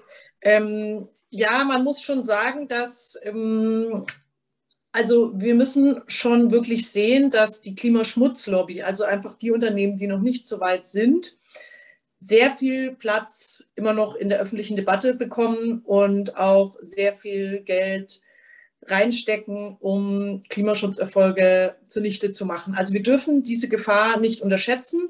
Wir haben im Wirtschaftsministerium Lobbyisten gegen Windkraft sitzen. Ähm, es ist äh, nachgewiesen, dass Bundesbehörden teilweise von ähm, Anti-Windkraft-Initiativen beeinflusst wurden. Wir haben äh, Kampagnen gesehen von der Initiative Neue Soziale Marktwirtschaft, die äußerst grenzwertig sind. Also ganz so easy, ähm, dass der Weg da jetzt natürlicherweise hingeht. Ich weiß, du hast es auch nicht gesagt, aber ähm, sehe ich es jetzt nicht, sondern ich glaube, wir müssen den Unternehmen einfach mehr Raum und Platz geben, die eben sagen, nein, nicht Carbon Leakage ist das Problem, sondern Green Leakage ist das Problem. Wir sind längst äh, da, wir haben längst die Lösungen und wir wollen einen höheren CO2-Preis. Und uns ist es nicht möglich, wirklich wettbewerbsfähig zu sein, weil die Fossilen noch zu stark gefördert werden. Wenn wir Anhörungen im Deutschen Bundestag haben, ne, sei es zum CO2-Preis beispielsweise, war jetzt neulich, äh, war natürlich auch mit Carbon Leakage überschrieben, dann sind häufig so Vertreter dieser alten Schule eingeladen. Und ich glaube, das muss anders werden bei allen Parteien, dass wir mehr die Chancen betonen und auch gerade beim Mittelstand, ich habe das auch so erlebt, äh, gerade beim CO2-Preis auf äh, Verkehr und Wärme, da, dass der Mittelstand auch ja, stark hat, versucht hat, das aufzuweichen, ähm, wo ich mir dachte, ich dachte, wir sind ein Land der Dichter und Denker, der neuen Technologie, der Innovationen. Warum wird so viel geredet, was ähm, am Alten unbedingt bewahrt werden muss? Und wo sind eigentlich die Pioniere zu sehen? Und das war teilweise eine Einstellung, die ich ähm, gerade in der deutschen Wirtschaft gar nicht vermutet hätte. Deswegen glaube ich, es liegt an uns, einfach ähm, die Pioniere, ähm, diejenigen, die sagen, nein, bitte stellt euch auch der Diskussion mal einen höheren CO2-Preis, weil wir ihn brauchen, denen einfach mehr Gehör einräumen. Und letzter Punkt, wir haben natürlich eine, die Kohlelobby ist immer noch aktiv, aber die Gaslobby ist auch sehr stark auf den Plan getreten, Stichwort blauer Wasserstoff und so weiter. Und das ist auch eine reelle Gefahr, die wir sehen, dass versucht wird, die Klimadiskussion in eine Richtung zu lenken nach dem Motto, da gibt es eine andere fossile Energie, die doch ganz klimafreundlich ist. Das ist jetzt der Weg nach der Kohle. Und da dürfen wir jetzt auf keinen Fall falsch abbiegen und ähm, in die falsche Richtung gehen. Und allerletzter Punkt, es lässt sich natürlich auch mit schmutzigen Geschäftsmodellen, wenn man seine Anlagen abgeschrieben hat, wenn man den Markt hat, noch ein paar Jahre lang auch Geld verdienen. Das sehen wir am Verbrenner, das sehen wir jetzt bei der Prämie auch äh, für den Hybrid, der auch äh, im Grunde seines Herzens Verbrenner ist. Und das wird eben versucht, diese Milliarden noch abzuräumen und von einigen auch die Entwicklung längerfristig aufzuhalten. Und äh, da müssen wir Politikinstrumente dagegen setzen. Danke, Lisa. Ähm, gerne nochmal als Hinweis an alle Zuhörerinnen und Zuhörer, stellt bitte eure Fragen. Ich glaube, ich habe inzwischen herausgefunden, wo ich sie nachlesen kann. Ähm, also bringt euch sehr gerne ein. Ich bringe vielleicht schon mal einen Aspekt hier mit auf, äh, der gerade genannt worden ist, nämlich äh, zum äh, Internationalen. Wir diskutieren sehr stark, auch hier in der Runde, das ist ja auch weitestgehend auch euer Verantwortungsbereich Richtung Politik gesprochen, aber auch hier die Vertreterin aus der Wirtschaft wir, wir sprechen sehr stark äh, über Deutschland und das, was Deutschland auch machen kann. Äh, wir haben aber gleichzeitig auch eine internationale Verantwortung. Ähm, wo seht ihr hier Möglichkeiten, vielleicht auch Richtung Marit und Lubo Miller von Seiten der Wirtschaft, auch internationale Bündnisse der progressiven Wirtschaft äh, zu starten, damit äh, hier auch international mehr passiert? Gab es solche ähm, ja, Versuche bereits schon?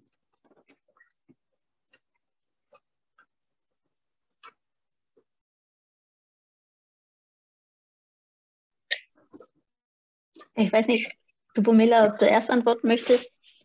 Egal. Okay. Ähm, also ich meine, ich glaube zum Beispiel jetzt das Forderungspapier, das wir jetzt heute veröffentlicht haben, ist ein gutes Beispiel, wie ähm, über Verbände hinaus ähm, Bündnisse ge geschlossen werden können, um äh, mit einem gemeinsamen Ziel, in diesem Falle Wirtschaft, Klimaschutz, äh, sich gemeinsam auf Forderungen zu einigen. Und ich kann jetzt keins benennen. Ich weiß nicht, ob es international da schon was gegeben hat. Ähm, aber auch die, die For Future-Bewegung ist ja international vernetzt. Und ähm, warum sollte es das nicht auch für die Wirtschaft, insbesondere für die Wirtschaft geben und können? Vielleicht kann ich zwei Punkte äh, auch hinzufügen. Äh, erstes das Beispiel von Green Tech Alliance und wir haben die Gemeinschaft äh, am Anfang von der Covid-Krise angefangen und jetzt sind wir mehr als 1000 Unternehmen, die sich auf digitale Technologien für Klimawandelslösungen fokussiert. Äh, alle diese Unternehmen sind ähm, eigentlich aus der ganzen Welt. Äh, wir haben natürlich in Deutschland angefangen, weil ich in Berlin basiert bin, alle anderen Mitbegründer auch in Berlin basiert sind. Ähm, und jetzt, äh, aber jetzt sind wir äh, wirklich international. Äh, es gibt so viele verschiedene Lösungen und die gute Sache ist, dass alle diese Lösungen fokussieren sich auf die Probleme, die in die verschiedenen Länder äh, existieren. Äh, das bedeutet, das sind ganz lokal und helfend, die, äh, wirklich die lokale Probleme zu lösen. Ähm, was interessant dort ist, ist, dass also diese Unternehmen füllen keine äh, oder können keine Unterstützung finden in die verschiedenen Länder, wo sie sind. Und man kann sehen, dass Deutschland wirklich gut, wenn es um ähm, Netzwerk, wenn es um also Denkweise an Klimawandel, an Nachhaltigkeit gut äh, ausgerichtet ist. Aber es gibt noch ganz viel zu tun, um diese Unternehmen wirklich gut zu unterstützen. Und ich habe am, Anfang äh, äh, bei meiner Position ähm, ähm, also äh, erklärt, dass wirklich Startkapital und Mentoring fehlen äh, und wirklich diese äh, äh, digitale Technologien müssen von der Politik mit passenden Rahmenbedingungen für, für Green Go Growth also unterstützt werden. Ähm, und ja, vielleicht das ist ein gutes Beispiel. Äh, das zweite Beispiel äh, ist äh, vielleicht die Entwicklungen dank dem Green, EU Green Deal. Ähm, jeden Tag sehen wir verschiedene Projekte, die sich auf Zusammenarbeit von verschiedenen Ländern fokussieren. Und natürlich, wie auch was Herr Köhler gesagt hat, sind diese Instrumente nicht genug. Also wir, wir brauchen natürlich viele verschiedene Aktivitäten und Zusammenarbeit. Ähm, was von der Seite von die Wissen, von, von der Wirtschaft, von den Unternehmen äh, wichtig ist, ähm, ist, dass wir wirklich in Zusammenarbeit mit der Politik, mit den Wissenschaftlern, äh, mit, äh, mit der Wirtschaft zusammenarbeiten, was heute nicht wirklich wahr ist. Also es gibt sehr viele Möglichkeiten um Zusammenarbeit und wir brauchen weitere Unterstützung und auch nur Gespräche, äh, um diese Lösungen äh, weiter äh, ähm, in der Publik zu bringen.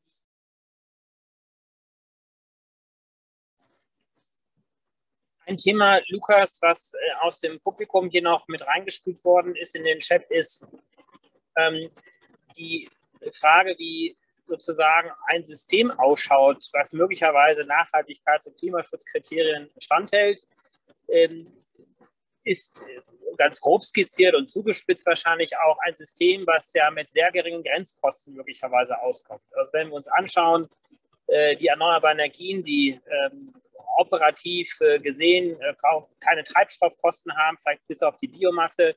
Ähm, wir haben auch im Bereich der Mobilität sehr geringe Grenzkosten in der Zukunft, wenn es um Elektromobilität geht, weil einfach hier ähm, äh, im Vergleich zu Benzin- oder Dieselpreisen auch der gefahrene Kilometer sehr viel günstiger wird.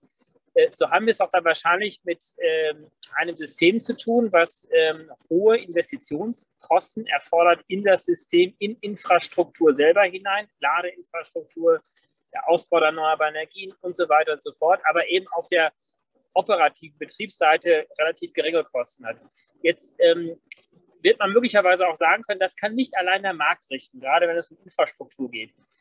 Siehst du hier ein Argument auch für die FDP zu sagen, ähm, hier müsste doch vielleicht temporär der Staat mehr Geld ausgeben, äh, damit diese Infrastruktur einmal steht? Das hat ja zwei Dimensionen der Frage. Das eine ist die Frage sozusagen, entstehen Kosten? Ja, natürlich, sogar sehr hohe Kosten. Egal welche ordnungsrechtliche Maßnahme ich treffe, oder egal welche politische Maßnahme ich treffe, ich äh, produziere damit Kosten. Ähm, egal, ob ich den, äh, auf die Idee komme, den, den, den Motor, eine Antriebstechnologie zu verbieten ähm, oder auch eine Subvention auszuschütten, das sind ja trotzdem Kosten, die entstehen. Und da muss man, glaube ich, um eine Effizienz hinzubekommen, auch immer gegenrechnen, was ist der, Klimaschutzaspekt davon. Also wie viel Tonnen CO2 kann ich mit wie viel Euro oder wie viel Kilogramm CO2 kann ich mit welchem Euro einsparen. Ich glaube, es ist wichtig, wenn wir uns die Zeitdimension und die Größe der Veränderungsprozesse anschauen, dass wir immer auch einen Blick darauf haben, wie können wir es möglichst effizient organisieren. Ähm, deswegen ist es, glaube ich, auch zentral, sozusagen äh, die, die Instrumente, die man hat, aufeinander abzustimmen ähm, zu schauen, okay, an welcher Stelle kann ich über Preisregulierung, äh, über Marktregulierung äh, gehen und an welchen Stellen muss ich investieren. Und natürlich, also ähm, natürlich muss der Staat in Infrastruktur investieren, ist doch ganz klar. Also es gibt Dinge, die kann ich und die muss ich marktwirtschaftlich regeln. Und davon, das ist sehr, sehr viel, was ich, das, was, ich, was ich machen kann. Der Staat ist zum Beispiel kein Innovator. Ja, wir werden keine neuen Technologien entwickeln.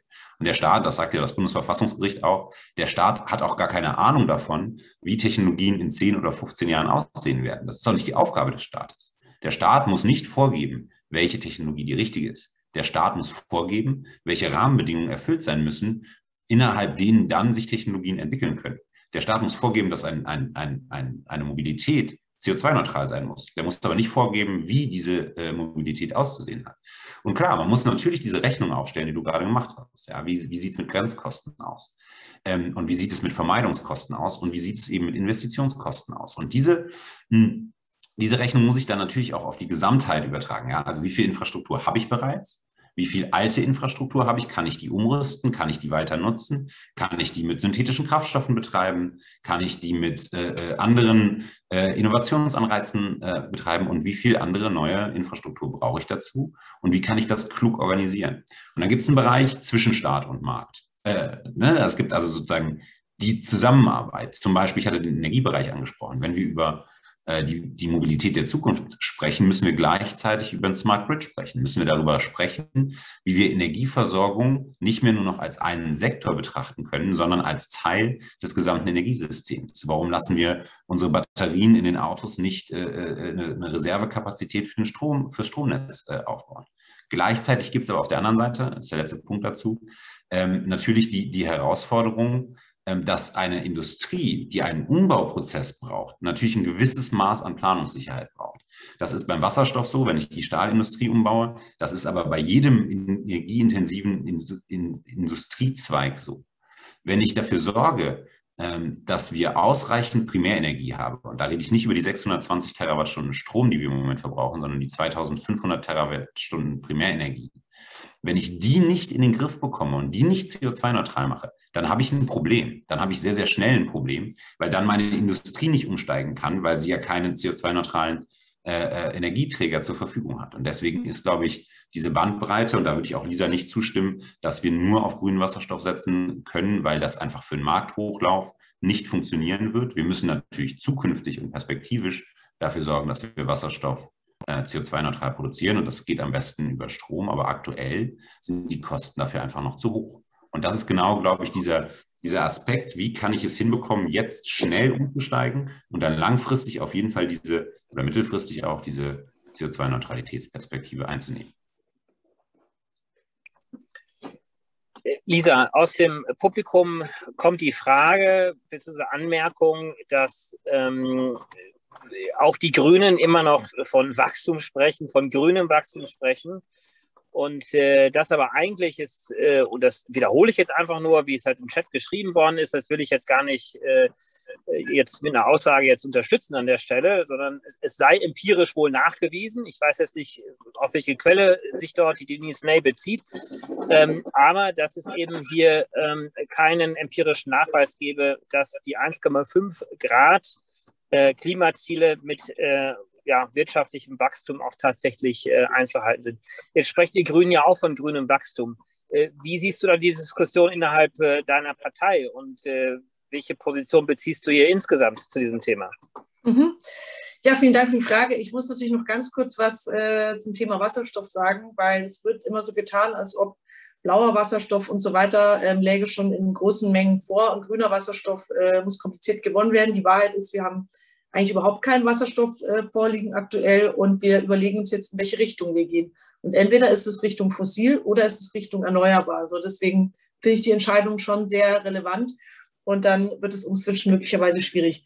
Aber jetzt zur, ähm, zur Wachstumsfrage. Also ich glaube, also ich glaube, dass diese Diskussion ein Stück weit auch theoretisch ist und dass wir eher daran arbeiten sollten, wie wir unsere CO2-Emissionen in den Griff bekommen. Und es ist relativ klar, dass wir auch eine Art von Kreislaufwirtschaft brauchen werden, weil wir sonst einfach die Ressourcen, ähm, ja, die, die wir aktuell benötigen, ähm, also wir wissen alle, dass wir unsere Erde überstrapazieren, nicht herbekommen. Das heißt, eine funktionierende Kreislaufwirtschaft muss immer auch Teil einer klimaneutralen Zukunft sein. Und ich glaube, dass noch niemand mh, hm, hier sozusagen den Stein des Weisen gefunden hat zum heutigen Tage. Aber wir können ja ganz sicher sagen, dass wir schnell große CO2-Einsparungen auf den Weg bringen müssen und dass wir schnell Kohle, ähm, Erdgas und so weiter durch Erneuerbare ersetzen müssen. Und der zweite Punkt ist dann eben zum Beispiel das Thema ähm, Ressourcenabgabe oder die Frage, kommen wir wieder zurück zu einer wirklichen sozialen Marktwirtschaft. Soziale Marktwirtschaft würde bedeuten, dass es um Leistung geht, dass ich mir mein Einkommen und dass ich mir mein Vermögen über Leistung erarbeite. Aber wenn wir Grundstückspreise haben, die, ich weiß nicht, um hunderte von Prozent teilweise in wenigen Jahren steigen, dann hat das ja nichts mehr mit der Leistung von jemandem zu tun. Dann haben wir uns einfach von einer echten sozialen Marktwirtschaft meiner Ansicht nach entkoppelt. Oder wenn eben der Chef, ne, ähm, ich weiß nicht, hundertmal mehr verdient als Mitarbeiter und ebenso, wenn ich durch Ressourcenausbeutung hohe Wachstumsgewinne machen kann. Das ist einfach unser Webfehler und unser, äh, wo wir ran müssen und was wir beheben müssen. Da gibt es politische Instrumente dafür und ähm, in jedem Fall werden es nicht, ich möchte nur das Beispiel äh, Müll hernehmen, das kennen wir alle. Äh, die Energiewirtschaft der Zukunft wird sicher nicht darauf aufgebaut sein können, dass wir ähm, ganz viel Plastik erzeugen und das dann in unseren Müllanlagen verbrennen, um, um Städte zu heizen. Also nur als Beispiel jetzt, um das mal, diese abstrakte Diskussion in ein Detail zu bringen. Aber ich persönlich äh, bin eher so der Typ Macherin. Ich denke, wir, wir müssen jetzt einfach starten. Die Instrumente liegen halt vor uns auf dem Tisch. Wir haben ein sehr ausführliches Wahlprogramm dazu geschrieben. Und äh, was mir aber bei Lukas Ausführungen halt immer fehlt, ist, welche Gesetze will die, will die FDP dann konkret erlassen, um die Energiewende in Schwung zu bringen und um Richtung klimaneutrale Wirtschaft zu gehen. Abgesehen von einem ja, Reform des Emissionshandels und was auch immer, darüber kann man ja sprechen. Aber äh, was, was ist euer Sofortprogramm für die Klimaneutralität? 100 Tage Regierungsprogramm, FDP, ganz konkrete Maßnahmen, das finde ich einfach mal spannend. Lukas, magst du direkt diesen Ball nochmal kurz aufnehmen? Ähm wie viel Zeit hast du? Aber äh, ich, ich mache keine, keine komplett 100 Programm, weil sonst äh, sind wir um halb und dann haben wir keine anderen Fragen mehr gemacht. Aber nun mal ganz konkret für die, für die, ähm, für die Marktanpassung. Ich hatte es eben, warst du nicht da, äh, schon kurz angesprochen. Ähm, natürlich setzen wir uns dafür ein, dass das Marktdesign eben auf stärk, viel, viel stärker auf diese Frage Systemdienstleistung, Kapazitätsgrößen, ähm, und äh, Anpassung der, äh, der, der, der sozusagen der preislichen Struktur äh, eingeht. Das ist der eine Schritt. Also heute sind schon neue, also neue Anlagen, egal ob Wind- oder Solarkraftanlagen, sind heute schon sehr viel, äh, sind am Markt äh, platziert und sind sehr viel günstiger in der Produktion. Der Schritt wie wir mehr davon ausbauen, ist meiner Meinung nach nicht über neue Ausbauziele im EEG. Ich glaube nicht, dass das EEG ein, ein, ein, ein Instrument der Zukunft ist. Das war gut. Das EEG war ein, ein gutes Instrument, um, um äh, den Markthochlauf von Erneuerbaren zu finanzieren. Aber heute, wo die Kosten, die Gestehungskosten, das hatten wir gerade im Chat gelesen, die Gestehungskosten schon so niedrig sind, dass ich nicht jetzt in Deutschland, aber in, in anderen Ländern bei einem Cent äh, im Solarstrom bin und dass in Deutschland auch diese 4, 5 Cent Grenze erreicht ist, brauchen wir kein EEG mehr, um, um Erneuerbare durchzufinanzieren. Was wir brauchen, sind Planfeststellungsverfahren und die müssen so schnell sein, dass wir entsprechend zubauen können. Wir können nicht sechs bis acht Jahre brauchen. Wir brauchen als zweites eine, eine Definition von Speichern. Wir haben keine Definition von Speichern in unserem System. Heute, heute, in dieser, in dieser Woche äh, würden, ich glaube, um die 25 Prozent der Braunkohle schon aus dem Netz gehen, wenn sie denn könnten. Wenn die Bundesnetzagentur nicht sagen würde, nein, ihr müsst in der Leistung stehen bleiben, damit wir Versorgungssicherheit haben. Wir haben aber keine Speicher in unserem Netz definiert. Das heißt, das wäre der nächste Schritt. Der dritte Schritt ist das Zusammendenken von Gas und ähm, ähm, na, wie heißen die Dinger, Stromtrassen, also äh, Gasnetz und, äh, und Stromnetz, in, zusammenzudenken und zwar so, dass wir darüber nachdenken können, wie Netzentgelte so reformiert werden können, dass Strom günstiger wird. Nicht nur für die Industrie, sondern insbesondere auch für Verbraucherinnen und Verbraucher, für Bürgerinnen und Bürger. Denn hohe Strompreise sind nach wie vor sozial ungerecht. Und als letzten Schritt müssen wir natürlich dafür sorgen, dass die, die, die Art und Weise, wie Bepreisungsmodelle auf staatlicher Umlagen und Steuern aufgebaut sind, dass das reduziert wird. Im Moment sind 75 Prozent der Stromkosten Steuern und Umlagen. Wir haben in Deutschland die höchsten Stromkosten in Europa. Und das ist ein Problem. Es ist ein absolutes Problem, dass das nicht funktioniert. Dann der zweite Punkt, äh, naja, ich rede zu viel. Also was noch genau. kommen muss, ist Negativemissionen. Ganz klar, wir brauchen heute die Diskussion darüber, wie wir Negativemissionen umsetzen und äh, einführen. Das muss nicht morgen passieren, aber in den nächsten paar Jahren. Und äh, der dritte Schritt, Schritt, ist sicherlich der Verkehrssektor. Aber weil David schon äh, gehustet hat, äh, höre ich auf. Äh, so 100 Prozent. Ich habe hab auch deswegen. Drei Minuten ist schwierig ich habe auch deswegen gehustet, weil schon äh, die Anmerkung aus dem Publikum kommt, dass du den längsten Redeanteil bislang gehabt hättest. Insofern möchte ich jetzt auch Richtung Nubo Mila noch einmal äh, rüber ähm, äh, zu ihr rübergehen. Ist es denn so einfach, wie das jetzt äh, gerade Lukas Köhler beschrieben hat, äh, wenn man jetzt die Genehmigung äh, beschleunigt, wenn man Umlage und Abgaben reduziert, entfaltet das wirklich, entfesselt das diese Kräfte in der Wirtschaft? um äh, nachhaltige Technologien voranzubringen? Oder ähm, was braucht man jetzt tatsächlich, um diesen Green Growth tatsächlich hinzubekommen? Ähm, wir sind davon überzeugt, dass die nachhaltige Umgestaltung unserer Wirtschaft von Investitionen in Digitalindustrie abhängt. Äh, digitale Industrien, äh, die digitale Industrie und digitale Technologien können zur Bekämpfung des Klimawandels äh, beitragen. Also die Emissionen können, äh, äh, viele Technologien können Emissionen reduzieren, wie was wir in Planer machen. Äh, es gibt ganz viele verschiedene Beispiele von Innovationen, die wirklich sich auf äh, Analyse und dann wirklich Vorbereitung sich fokussieren. Alle diese sind Beispiele, die wirklich äh, wichtig für unsere äh, Wirtschaft sein werden, weil wenn wir heute nicht in solche Technologien investieren, werden wir morgen eigentlich nicht vorbereitet sein. Und äh, wie wir schon gesehen haben, es geht nicht um in zehn Jahren, sondern in, in die kommenden Monate, Wochen. Äh, eigentlich dieses Jahr leider war wirklich äh, ähm, wirklich eine, eine gute Beweise für was äh, weiter in der Zukunft für uns passiert wird. Ähm, natürlich gibt es so viele, und das ist die Arbeit von, äh, von, von der Politiker, äh, und ich, ich habe sehr viele Meinungen über, über, Wirtschaft, über Technologie, aber wir müssen wirklich äh, die Wichtigkeit von diesen Innovationen, von der Implementation von solchen Innovationen nicht nur sprechen, aber auch als Teil für ein Budget haben weil es dauert ganz lang, wie wir gesehen haben, mit vielen Projekten, nicht nur in Deutschland, aber in ganz Europa, solche Ideen wirklich Wahrheit zu, kommen, äh, zu, zu Wahrheit zu kommen.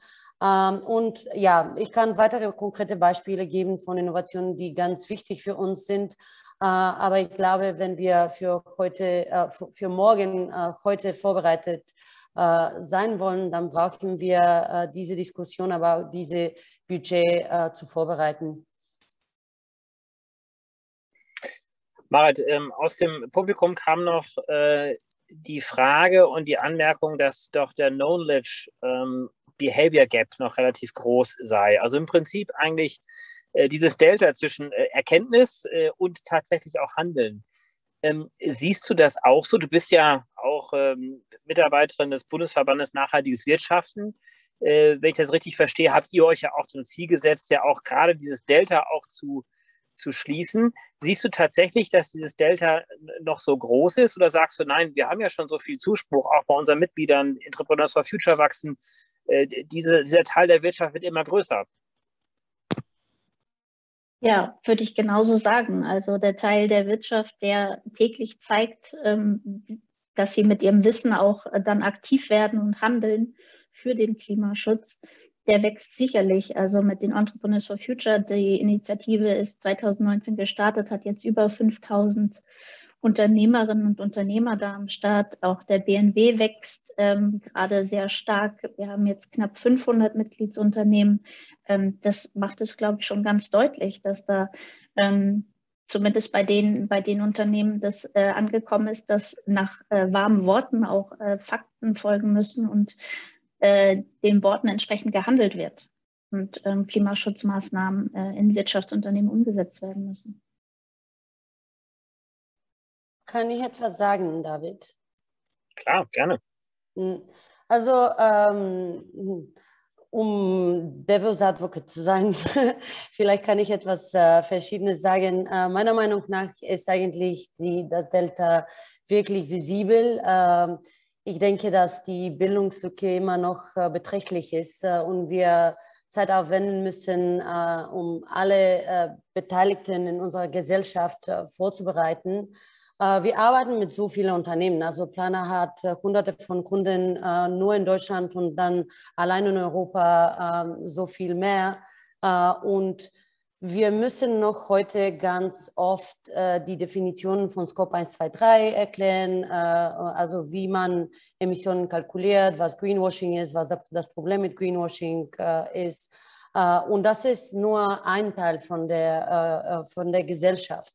Und wenn wir wirklich mit Einzelpersonen sprechen, dann vielleicht gibt es noch Möglichkeiten, um die Konzepte von Recycling, von äh, Circular Economy weiter zu erklären. Äh, und ja, also wir sind noch nicht vorbereitet und wir können das sehen in den täglichen Gesprächen, die wir, äh, die wir mit Unternehmen haben. Äh, die gute äh, Nachricht ist, dass es gibt, äh, wie Marit schon gesagt hat, gehabt, hat, ähm, gibt so viele verschiedene Akteure, die jeden Tag auf dem Thema Klimawandel arbeiten und das gibt uns Hoffnung, dass wirklich die Lösungen schon da sind und es gibt, dass es wirklich Leute gibt, die seine Zeit und Kenntnisse an dem Thema geben wollen. Aber das Wetter ist noch da. Wir kommen jetzt, glaube ich, so langsam zum Ende dieser Diskussion. Vielleicht, Lisa, weil du als letztes dazu kamst, an dich die Abschlussfrage. Ähm, die Grünen sind ja seit muss ich übersetzt überschlagen, 30 Jahre so etwas aktiv ja schon in der deutschen Politik, mal als Regierungspartei, äh, länger natürlich auch als Oppositionspartei. Ihr seid mit einem gesellschaftlichen Konzept gestartet vor einigen Jahrzehnten. Inzwischen ähm, haben eigentlich alle demokratischen Parteien äh, Klimaschutz äh, sich zum Ziel gesetzt, auch äh, Umweltschutz ähm, und durchaus auch ambitioniert, äh, durchaus auch, wenn wir auch Lukas Köhler hier äh, zugehört haben von der FDP, ähm, auch äh, ja, sehr ernsthaft bemüht, hier auch Lösungen zu finden. Wo siehst du denn jetzt auch als Vertreterin oder als klimaschutzpolitische Sprecherin deiner Partei äh, denn die größten Baustellen noch, wenn es eigentlich diesen ja, gesellschaftlichen Konsens für mehr Klimaschutz und Umweltschutz eigentlich schon gibt? Ja, das, das könnte man denken, dass es diesen gesellschaftlichen Konsens gibt. Und es freut uns natürlich auch, dass äh, viele andere Parteien ähm, das übernommen haben oder dass jetzt zum Beispiel Lukas in der FDP das Thema seit ein paar Jahren da auch stark vorantreibt. Das ist alles sehr erfreulich. Aber wie gesagt, ähm, ich, ich bin pragmatisch orientiert. Ich möchte, dass wir ins Machen kommen. Und da liegen halt noch zwei Probleme vor uns aus meiner Sicht. Zum einen ähm, die soften Klimaleugner, das hatte ich vorhin schon angesprochen, das heißt Unternehmen oder Akteure, die sagen, Natürlich wollen wir klimaneutral werden. Also die wenigsten außer der AfD leugnen ja noch den menschengemachten Klimawandel.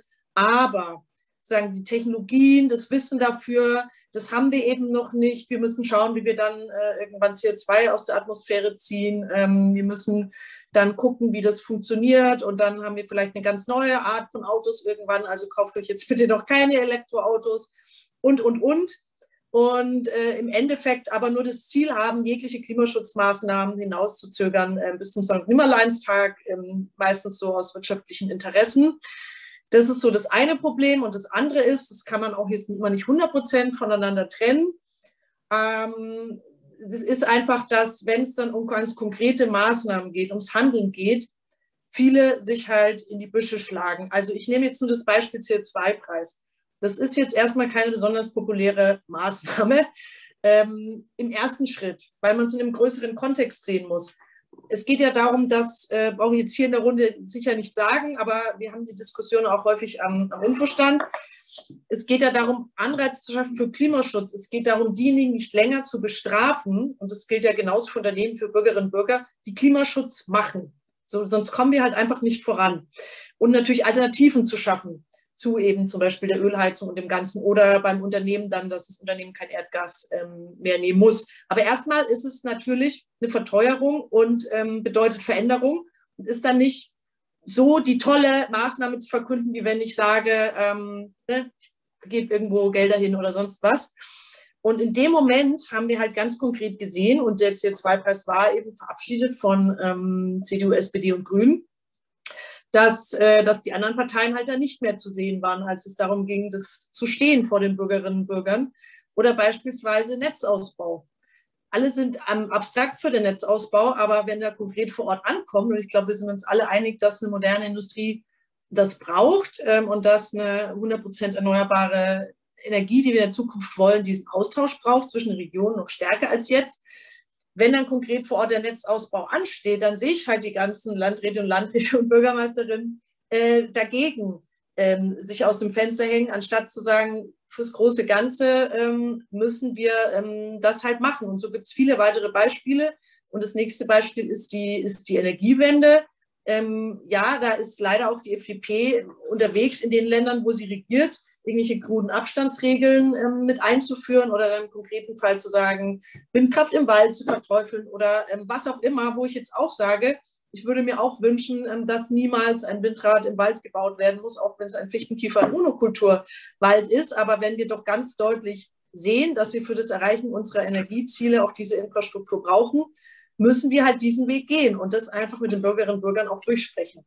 So, und dieses ähm, ja. Rückgrat auch in schwierigen Situationen zu behalten, um dann zu sagen, Leute, wir machen das, damit euer Leben besser wird. Und das sind die und die Vorteile, die am Ende dabei rauskommen. Und was die Industrie angeht und die Unternehmen, wir werden nur eine zukunftsfähige Industrieunternehmen in Deutschland haben mit 100 Prozent erneuerbaren Energien, weil alles andere macht uns abhängig. Also mit allem anderen werden wir unsere Klimaziele nicht erreichen. Es ist teurer und so weiter. Darum geht es. Das ist einfach zu machen. Ganz herzlichen Dank ganz herzlichen Dank. Sorry, dass ich jetzt dann doch so ein bisschen ad hier reingehe. Ich weiß, äh, ihr und wir haben alle viel zu berichten. Wir sind ein bisschen drüber mit der Zeit. Äh, ich bedanke mich aber sehr, sehr herzlich äh, für diese Diskussionsrunde. Sie hat mir zumindest gezeigt, dass doch eigentlich sehr viel mehr Konsens, sehr viel mehr Gemeinsamkeiten, zumindest hier in dem Raum auch existieren und dass die ähm, ja, äh, Differenzen äh, nicht immer so eindeutig dem einen oder anderen Lager auch zuzuordnen sind, sondern wahrscheinlich auch innerhalb des eigenen Lagers auch zu liegen äh, sind und auch dort auch zu finden sind. Insofern glaube ich, äh, können wir hier mit dem gemeinsamen, der gemeinsamen Aufgabe hier rausgehen, äh, auch nach der Bundestagswahl einfach äh, unter Demokraten zwischen Politik, mit der Wirtschaft, mit der Zivilgesellschaft einfach gut zusammenzuarbeiten und wirklich mehr ins Machen zu kommen und weniger über Ziele zu sprechen. Ganz herzlichen Dank euch und äh, ich glaube, jetzt übernimmt irgendjemand von euch. Markus, du wieder? Jupp, ich bin wieder da. Also auch dickes Danke für die Podiumsdiskussion. Ähm, es war auf jeden Fall ein spannender ähm, Abend. Ich glaube, viele Punkte wurden diskutiert, die wichtig sind. Ich glaube, das, was den Leuten, die dabei waren, den äh, Zukunftsunternehmerinnen, nenne ich es einfach mal, unter den Nägeln brennt, ist, dass wir mit der nächsten Bundesregierung wirklich ins Handeln kommen. Es sind die Leute da, die die Lösungen auf die Straße setzen und die brauchen die Rahmenbedingungen. Und von dem her, dicken, dickes Danke für die ganzen Impulse. Ähm, zum Ende noch mal ganz kurz, wie es denn konkret weitergeht mit Wegebereiten. Ähm, genau, ein, ein Danke nochmal an die BMW-Stiftung, die äh, quasi auch mit die Wegebereiten Politik-Talks ähm, unterstützt. Und ähm, ein kurzer Ausblick auf die nächsten Politik-Talks, die anstehen. In der nächsten Woche haben wir gemeinsam mit dem Bundesverband Nachhaltige Wirtschaft ähm, den Politik-Talk zur Transformation der Wirtschaft. Wir haben ja heute schon vier an der Schnittstelle zur Wirtschaft. Es wurde auch noch mal klar, dass es eben nicht allein ähm, Umwelt, ökologische Aspekte sind, sondern dass gesellschaftliche, viele gesellschaftliche Aspekte damit einhergehen, dass wir eine Komplexität zum Managen haben. Es sind die Unternehmerinnen ähm, bereit, die genau das gestalten wollen, aber dafür brauchen sie die Rahmenbedingungen. Darüber wollen wir dann nächste Woche diskutieren. Und äh, Luke Miller hat es ja noch äh, mal genannt. Ähm, Finanzierung. Genau die Akteure, die so wirtschaften und die zukunftsfähig wirtschaften, die kommen momentan oft nicht in klassisches Risikokapital hinein. Es gibt viel zu wenig für Green Startups, für soziale Innovationen. Genau da fehlt es an Risikokapital. Und das heißt, wir können noch so oft, und äh, das ist das auch in Richtung Politik, über Lösungen durch Innovation sprechen. Wenn wir den Innovationen nicht den passenden Rahmen, nicht das passende Kapital geben, dann wird es nicht funktionieren. Wir haben in dieser Woche zwei Partner-Events, einmal von der Bundesinitiative Impact Investing, die das ganze Thema Impact Investing nochmal herausstellt, aktuell zum Beispiel beim Zukunftsfonds der Bundesregierung ausgeschlossen. Ähm, genau diese Mittel, das Thema Crowdfunding. Und am Donnerstag werden wir dann eine Studie ähm, für die Transformationsfinanzierung vorstellen. Und zwar haben wir eine Benchmarking-Studie gemacht, wo wir international nochmal geschaut haben, besonders auf den Hinblick soziale Innovation, weil es da momentan noch nichts gibt. Was für Instrumente haben denn andere Länder? Was funktioniert schon? Und gerade wenn wir jetzt mit der nächsten Regierung reinstarten, was wir von den anderen Ländern lernen können und wo wir das Thema nochmal diskutieren wollen. Und ähm, in der Woche danach werden wir, und da finde ich es auch schön, dass äh, Grüne und FDP dabei sind, weil da steht es überall nochmal im Wahlprogramm mit drinnen, ähm, wie können wir nachrichtenlose Vermögenswerte mobilisieren, um hier mehrere Milliarden an Transformationskapital ähm, eben auf den Weg zu bringen und das neutral für die Steuerzahlerinnen, neutral für den Staatshaushalt. Denn momentan liegen diese Gelder einfach rum, arbeiten nicht und äh, das ist, glaube ich, im, nicht im Interesse der Gesellschaft.